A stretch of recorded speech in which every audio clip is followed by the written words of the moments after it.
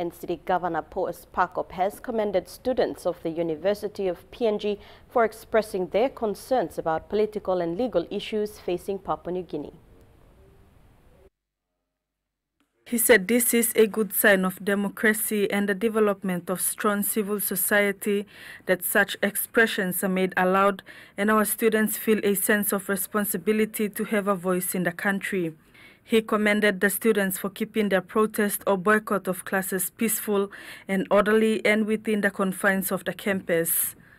Parkop said the nation has been tarnished with bad reputation regionally and globally, and it's everyone's responsibility to change that image with a positive one. Governor Parkop added, while it is good to protest and to voice their concerns, he challenged the students to obey the law to reach the outcome they want.